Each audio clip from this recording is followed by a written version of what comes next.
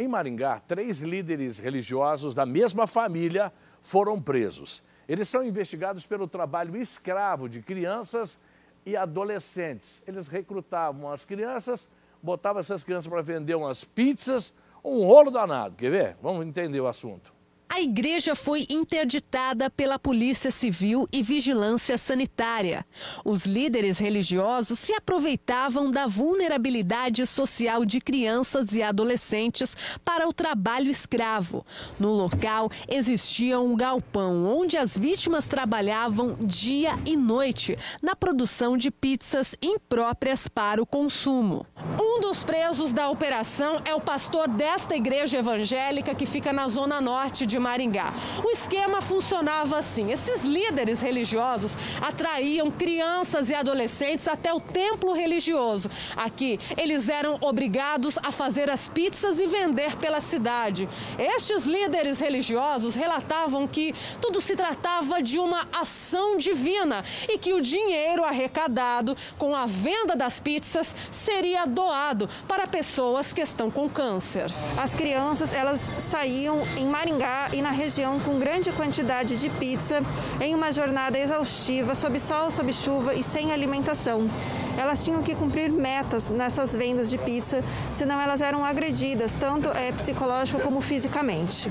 As três pessoas presas, um apóstolo e uma bispa, marido e mulher, e o pastor, filho do casal, viviam em casas de luxo. Nas residências, os policiais apreenderam grande quantidade em dinheiro, uma arma de fogo e documentos. Segundo a polícia, o alto padrão de vida era sustentado pelo trabalho escravo. Um bastão também foi encontrado. A polícia acredita que era usado para agredir crianças que se negavam a trabalhar. Esse bastão foi localizado, mas também ainda nós precisamos avançar nas diligências para saber se eles usavam esse bastão para é, intimidar e coagir as pessoas. Segundo as investigações, os adolescentes também eram mantidos em cárcere privado nos fundos da igreja. Nós localizamos agora na diligência de busca esse quarto com isolamento acústico e um colchão. Nós ainda vamos diligenciar para ver para, que, para o que esse quarto era usado, mas nós temos notícia de que há um maior de idade também com déficit mental que também estaria submetido a trabalho escravo na igreja. Ele não foi localizado. Durante os cultos, o apóstolo que foi preso aparece sendo tocado pelos fiéis. Nas reuniões, ele dizia que as pessoas que tocassem nas vestes dele seriam curadas. Se não acontecer milagre no toque que eu tocar, então ele não está em mim. Olha para cá. Olha para cá. O leproso chegou aos pés de Jesus, chegou ou não? E ele chegou com toda humildade. Diga humildade. Fala para o seu irmão, Deus quer de você humildade. Deus, Deus não quer santidade falsa. Pelo amor de Deus, se é que usar o nome de Deus em vão não tem perdão. Eu vou repetir: usar o nome de Deus em vão não tem perdão. Entendeu? E esse cidadão sabe muito bem o que está fazendo.